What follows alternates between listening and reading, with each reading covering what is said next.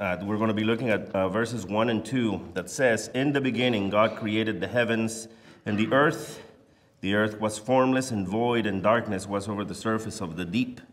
And the Spirit of God was moving over the surface of the waters. So, some of the most fundamental questions that human beings have asked throughout the millennia, throughout the world, are questions like Who are we?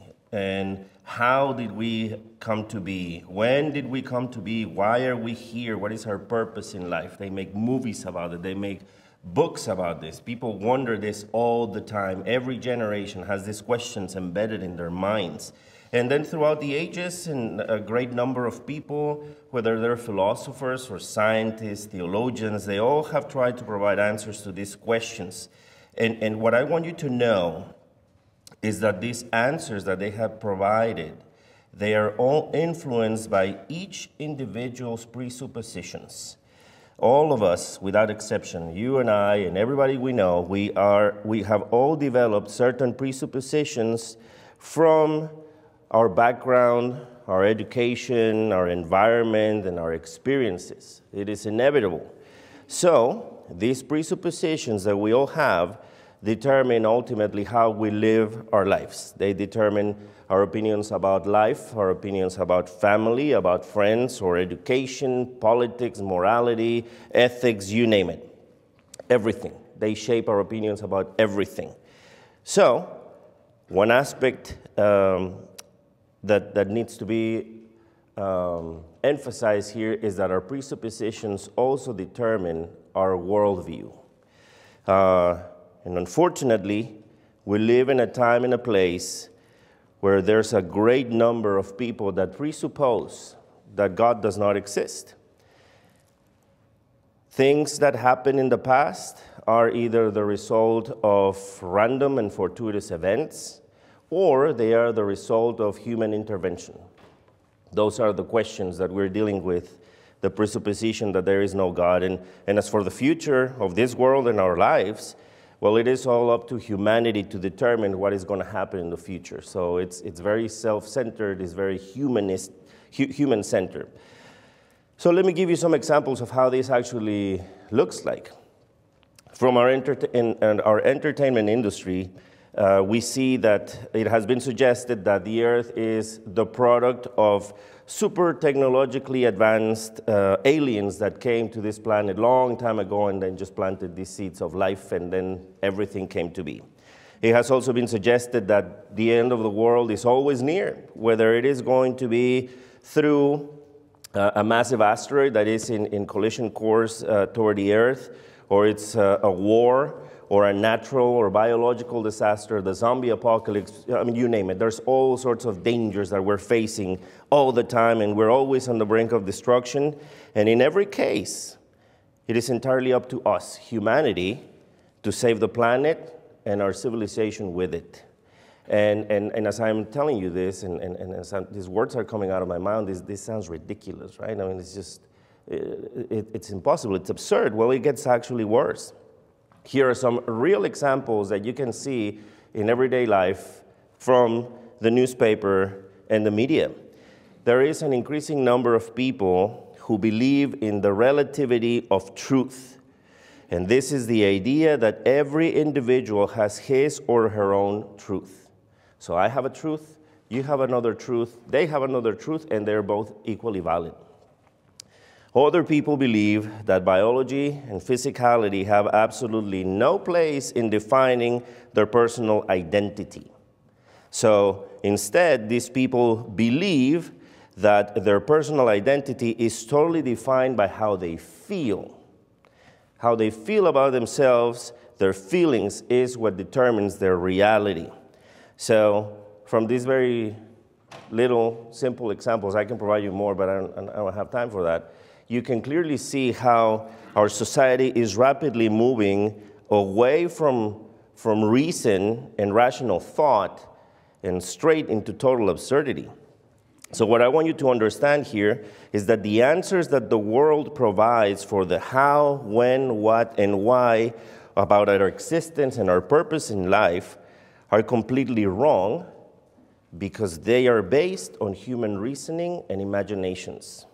That's what we need to remember. Throughout the ages, Satan has been striving to bring pain, suffering, and a sense of hopelessness and, and, and, ultimately destruction to as many people as he can. And the best way to accomplish his evil purpose is to convince people that God does not exist. That's how he's trying to accomplish this agenda. But the scriptures make a very blunt statement in Psalm 14, verse 1, where it says, the fool says in his heart, There is no God. The reality is, and always has been, that God does exist, and He revealed Himself to us through His creation, through His written word, and through His Son, the Lord Jesus Christ. Now, going to our book of Genesis here, which is the subject of our study, the book of Genesis is the beginning of God's written revelation. We know that. The word Genesis, or Genesis for us in Greek, uh, uh, means a point of origin, or it refers to the birth of something or the birth of someone. And therefore, Genesis has been rightly called the, the, book of origins. This is where we find the beginning of creation, we have the beginning of life, we have the beginning of man, the beginning of sin, the beginning of salvation, it's, it's, it's the beginning of God's divine revelation. That's what we have right here in front of us. So, Genesis is also a historical book, and it was written by Moses. And what does this mean? Why am I saying this to you? Well, because the events that are going to be described from this moment on are not legends. These are not myths. These are not stories that somebody come up with. This is not fictional all of this is a historical record. All of these are facts. These things indeed happened.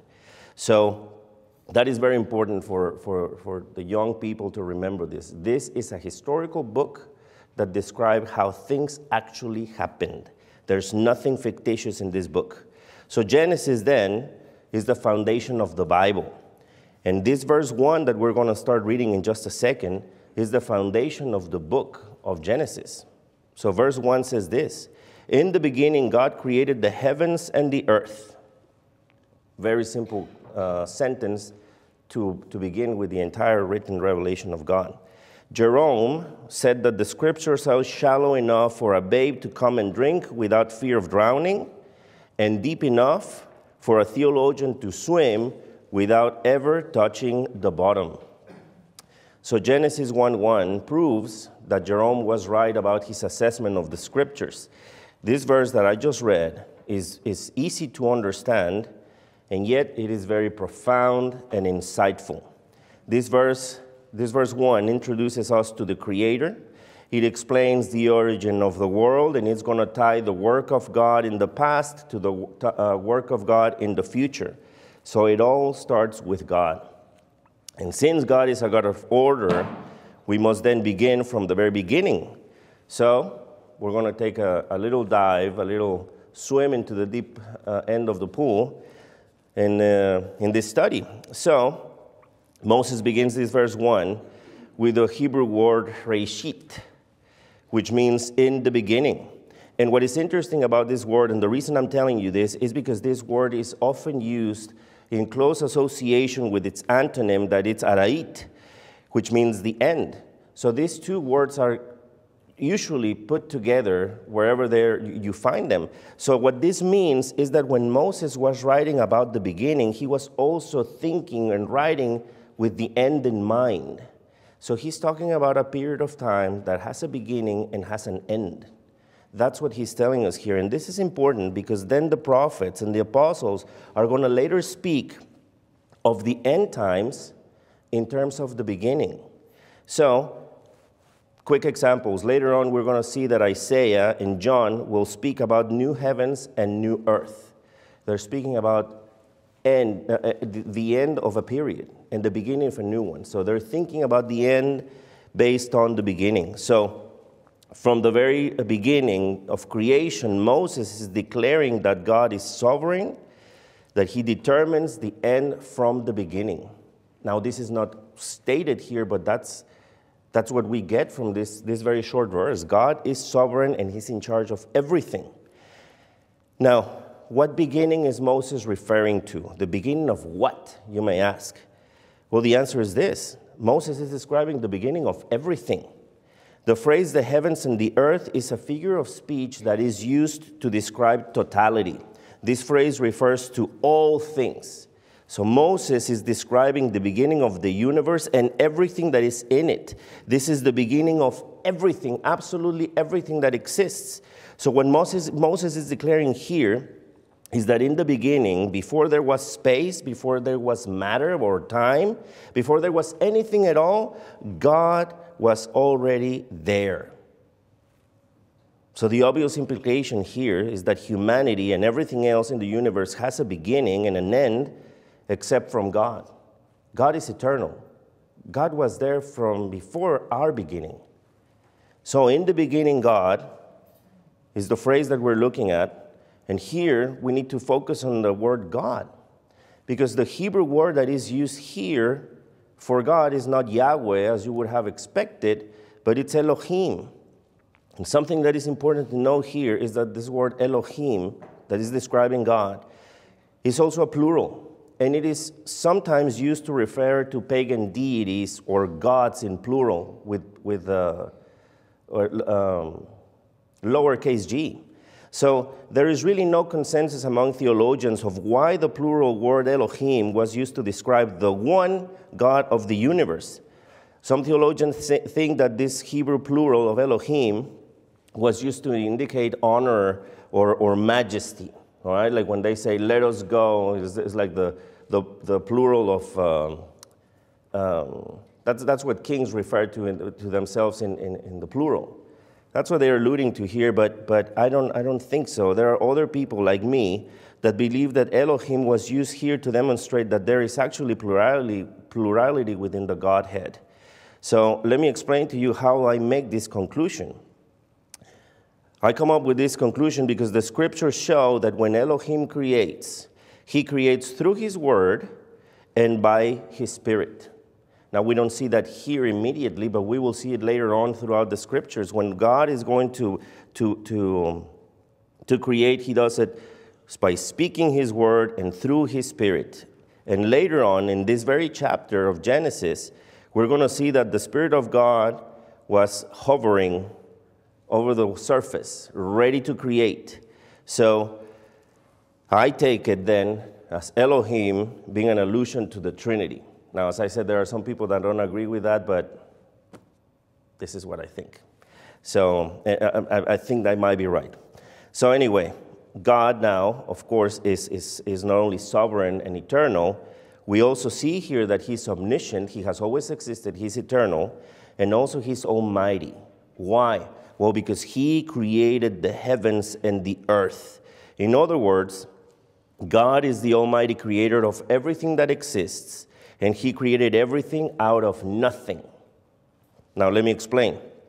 Here, it's important that we look at the Hebrew verb that is used here for, for, uh, to create, which is bara. And this verb means to create. And in the Old Testament, this verb is always associated with divine activity. Bara is always associated with God. So the phrase here, bara Elohim, means God created. So this verb is never never associated with human activity. That's why I'm telling you this. That's the importance of knowing how this verb is used. Always about God, never about man. So, what the verb bara indicates is that God alone has the power to create, to create from nothing. And man, us, we merely have the ability to manufacture using materials that already exist. So, in essence, what I'm saying is that we are not creative. Men do not create. We manufacture. We use things that exist to transform them in something different. Only God has the power to create. Now, I do need to point out that nothing in the verb bara or any other Hebrew or Greek verb that are used to describe to create indicates that creation occurs or happens out of nothing, or in the Latin, creatio ex nihilo. So the idea here is that God created everything out of nothing is deduced exclusively by the context. So let, let me define how, how we, we reason this.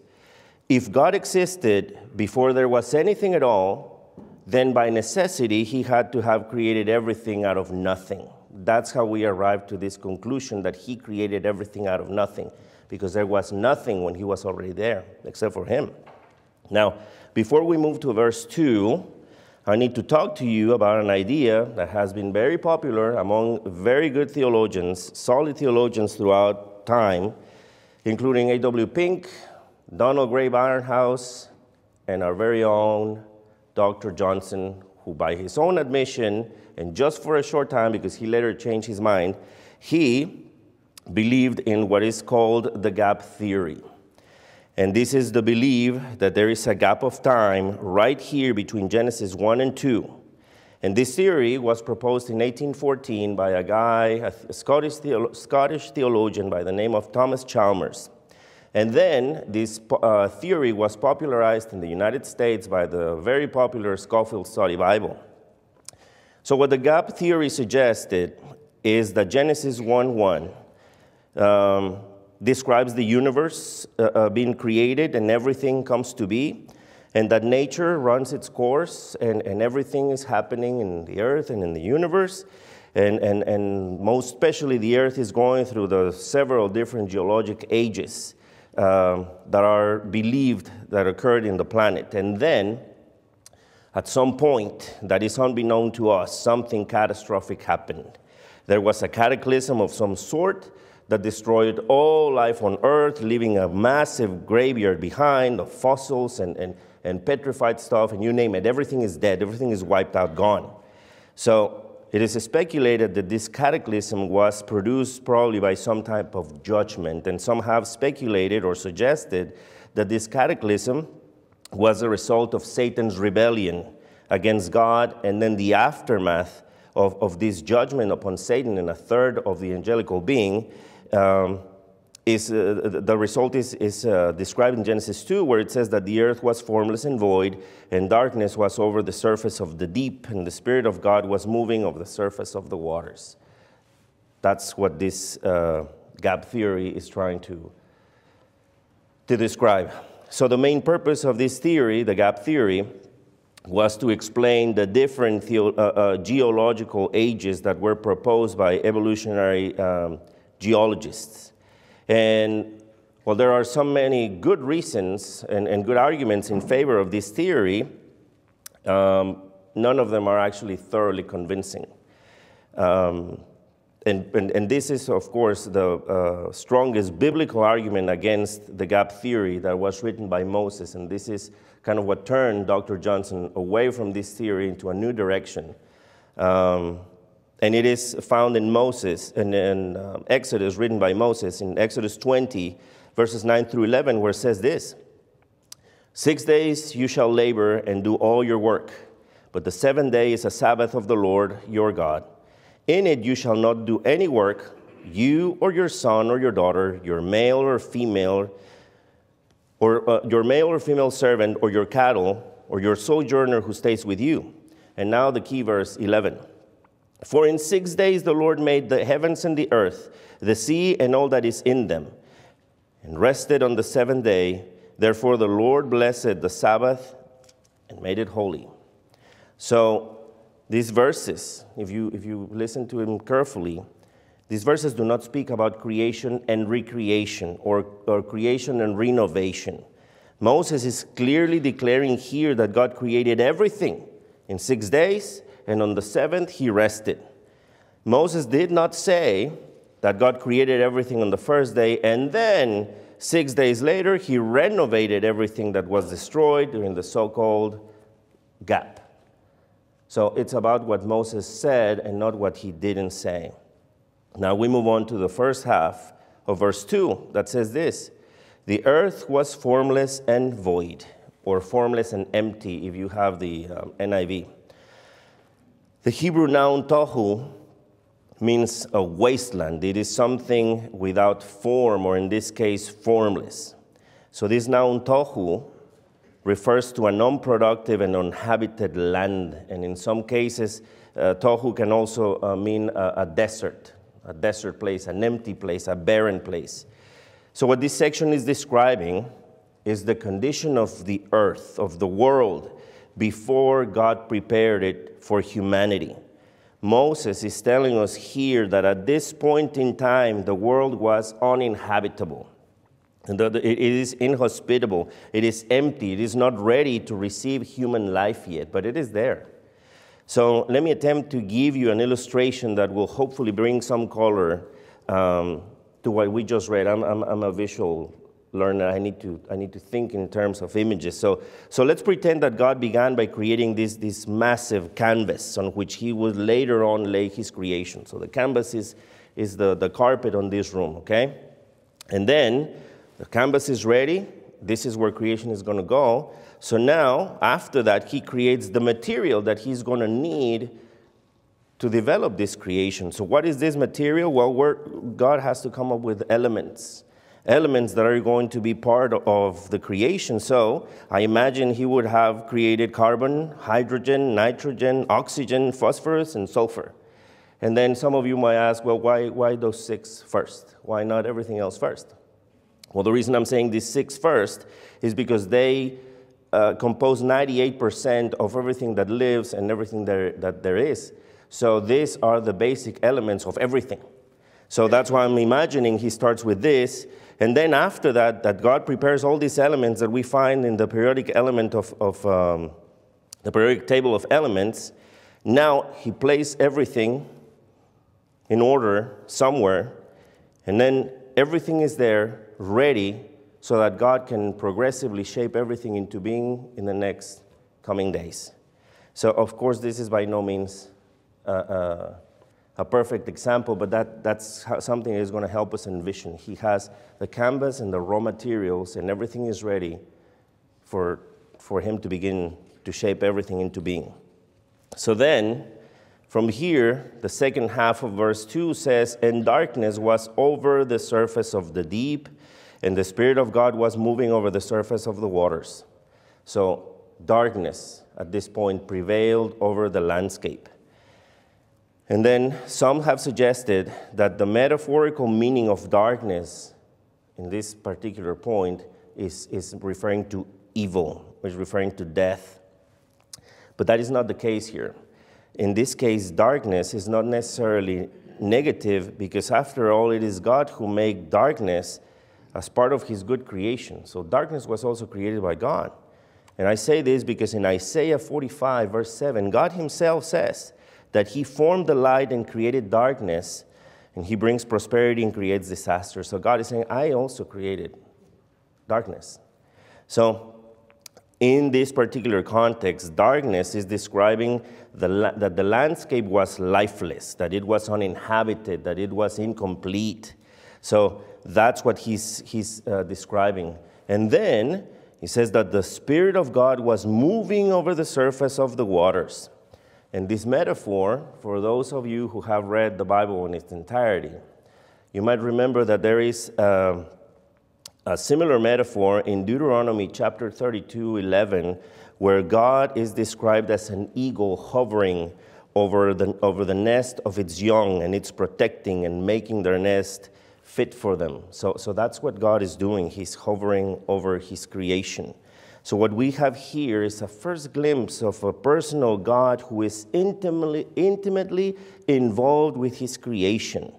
This verse is showing us how God was uh, uh, overseeing the condition of the earth and preparing the way for His creative work. One detail that I don't want us to miss here is that only the Spirit, at this moment, only the Spirit is alive and in motion. Everything else, or these elements that I was describing to you, the periodic table of elements, all are, are just there, motionless and lifeless, just waiting for their orders. And God is the only one that is moving. God is the only one that has life and movement. So God is getting ready to accomplish his means by work of the Spirit. So I do recognize that I have not answered the questions that many of you might have, whether you're here or listening to this later on. And these questions might be something like, when exactly did this happen? All right? Or where exactly did this happen? how exactly did this unfold, or how did we get from nothing to everything, or why did God create everything? These are very, very valid questions. These are common questions, and we have probably all answer, uh, uh, asked those at some point or another. And the truth is that Genesis does not answer any of these questions. The reason for this is that these are not primary questions. That's why we don't get an answer for those. The, these are the wrong questions to ask. The right question to ask is who? Who is the right question? Who made everything that there is? Who is responsible for making everything? That is the question that we need to be concerned about. That is the question that we need to ask. And this is the focus. This is the question that Genesis is answering, is answering the who, which is the most important. So, if it still is not satisfactory, I have to say, I have to say that to demand an answer from the scriptures when none is given is very dangerous because Satan has led many to believe that if people do not get these answers straight, if they don't get these answers from the scriptures, well, they just cannot trust God. And then if you cannot trust God, well, you cannot even, you can also follow his lead. So what is the there left to do? You just go your own way. You just follow your own path. The problem is that this path leads to nothing but pain and suffering and ultimately damnation because we do not have the power nor the authority to demand anything from God we cannot demand that He ans- asks, answers our questions to our satisfaction. Who are we to do that? We're no one. We, we, we don't have that kind of ability, we don't have that authority. So, what we need to remember here is that God revealed to us, according to His sovereign will and His purpose, what He wanted us to know. He gave the informa- information He wanted us to have, He gave us what we needed, not what we want. And you will see this throughout the scriptures, and you see that in your life. God gives us what we need and not necessarily what we want. Deuteronomy chapter 29, verse 29 says this The secret things belong to the Lord our God, but the things revealed belong to us and to our sons forever, that we may observe all the words of this law. God is the one who reveals, God is the one who withdraws or, or keeps information. That's just what it is. He's sovereign and He's wise. So, the focus of verses 1 and 2, of course, is God. And in fact, the entire Bible, the subject of the entire Bible is God Himself. So, in our lesson today, we learned that matter, time, space, and energy are not eternal, as you might have learned in your science class. These things are not eternal. We learned that life did not happen by mere chance, okay? Because things don't just happen. That is not scientific. Those, those things are not repeatable or observable. So to just say that things just popped out out of nothing for no reason at all is not even scientific, it's not rational. So that's what we're seeing here. We saw that everything and everyone has a beginning and an end. Everything, whether it's visible or invisible, was created by the Almighty God of the Bible. That's how everything started. That's what we just read.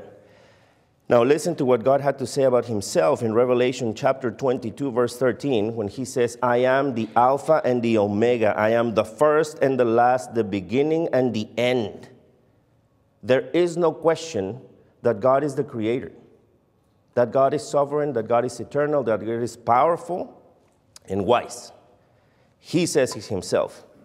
So, Genesis 1, verses 1 and 2, are a clear and stern rebuke to those who believe in polytheism, to those who believe that there are many gods. It is a stern rebuke to atheists who believe that there is no God, to materialists who believe that physical matter has always existed. It is also a rebuke to evolutionists who believe that human life evolved from a primitive source of life, sometime, somewhere.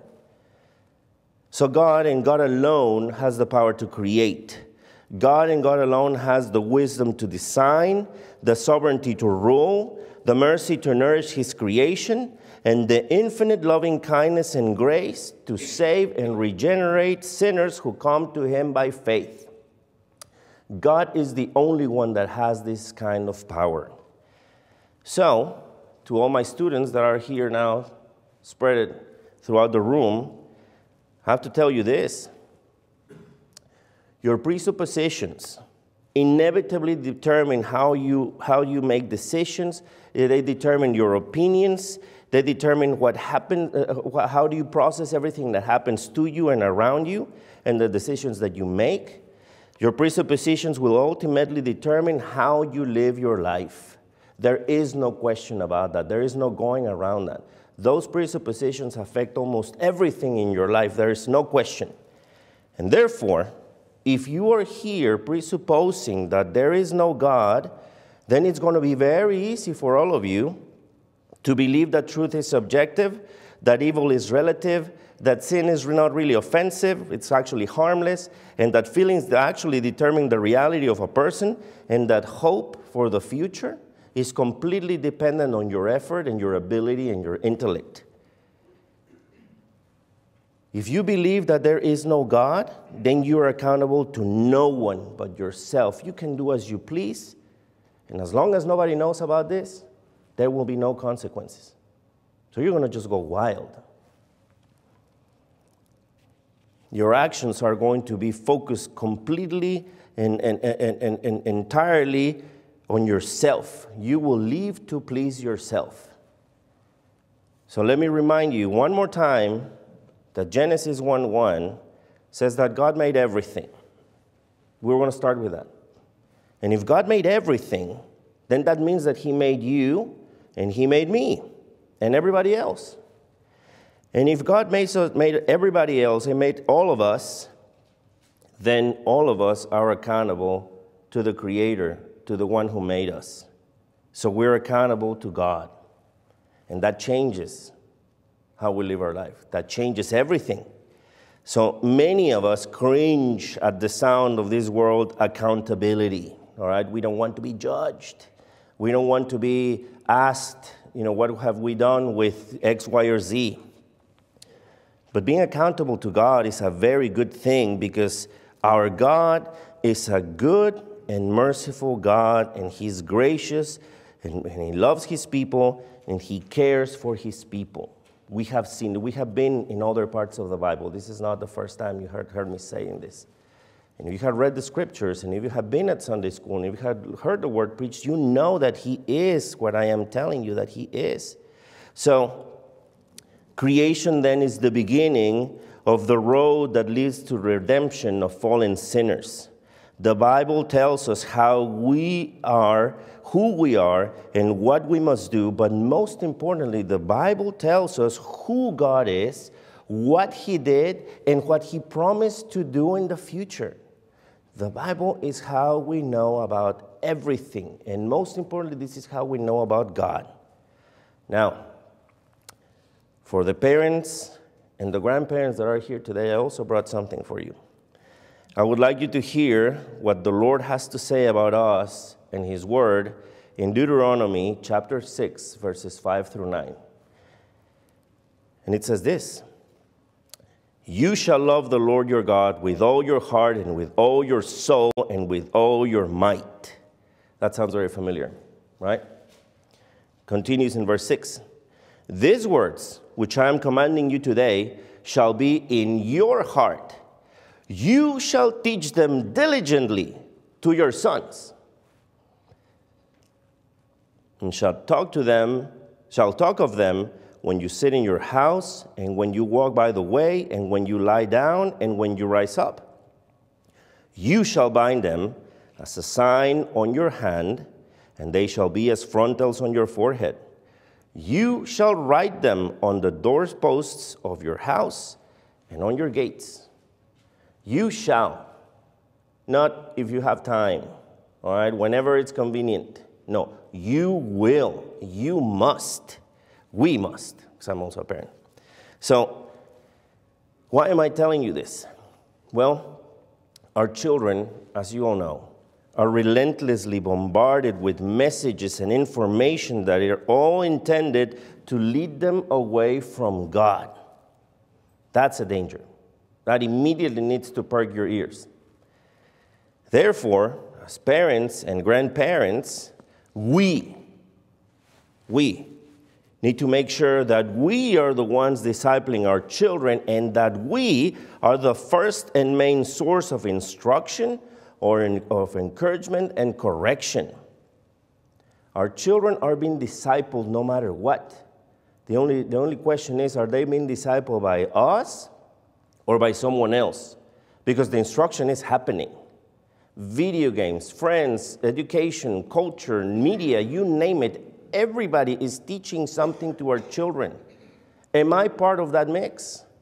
That's the real question. That's where we need to focus. And I understand that the Bible is full of difficult concept, concepts and teachings, and yet, these children, our children, need to learn the Bible as a whole, as a whole, so that they can have the certainty that God indeed exists and they, were, they are able to develop godly presuppositions and a solid biblical worldview. That's what they need to know. Everything that there is in the scriptures, however difficult it might be. They cannot develop a presupposition that God exists, and in, and, and in turn, they cannot have a biblical worldview if they do not know the scriptures.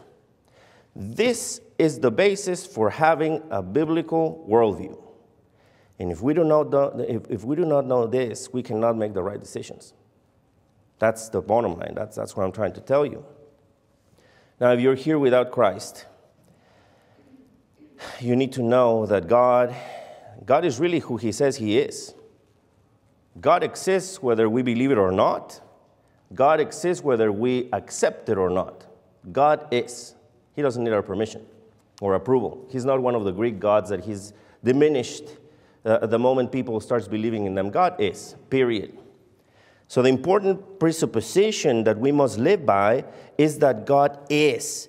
And He revealed Himself through us through His marvelous creation. He revealed Himself to us through His magnificent Word and through His majestic Son, the Lord Jesus Christ. He made Himself known. We have no excuse. Everywhere you turn, you see that there is a God, an intelligent creator we are accountable to Him. I just said, if He made all of us, He, he made us, and now we're accountable to Him. Now, ignorance of His word is not an excuse. When I came to this country 23 years ago, there might have been some laws that I wasn't aware of, but if I had broken them and got caught, saying, hey, listen, I didn't know about your laws. Well, I'm sorry, you're still going you know, to the precinct because ignorance is not, is not a reason to break the law. So in this case, if you don't know, do not know the Lord, that doesn't mean that you're exempt from the penalty. So, if you have not yet trusted Christ for your salvation, there is a high probability that you may not believe in anything that I just said. And I honestly don't blame you because you have no reason to believe in what I am saying. You don't know me. So why would you believe me? There was a time when I sat in those same chairs, in those pews back there, listening to Mr. Duncan preach with skepticism and disdain. I mean, that's, that's what it was. So I invite you, if you have not yet come to Christ, to open the Bible and read for yourself and let God speak to your heart directly. Read these words and examine them thoroughly, as I did. And then you will see for yourself whether I am preaching the word of life or not. The word of God is powerful, and it will have an effect. It will not come out void. void I'm sorry. Open the Bible and see for yourself, and may the Lord give you the willingness to do so and may He bless you with salvation so that you too may worship the Lord in spirit and truth. Let me pray for us.